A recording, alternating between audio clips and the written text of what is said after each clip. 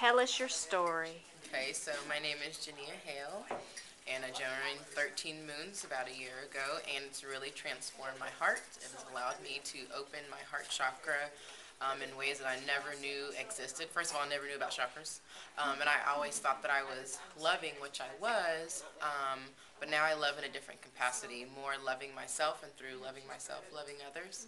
And so 13 Moons really gives you the tools to align with your life. So you set your intention and your intention, and they align together.